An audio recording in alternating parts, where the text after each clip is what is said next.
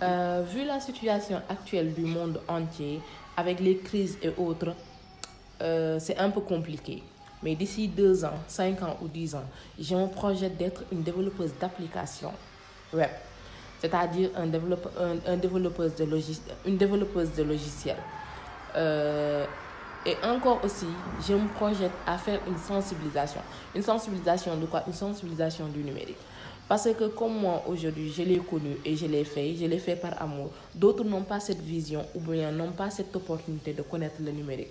Parce qu'à chaque fois, on a tendance à influer au numérique un sens négatif, alors que le numérique aussi connaît euh, un sens positif connaît une positivité dans ses affaires et dans ses activités.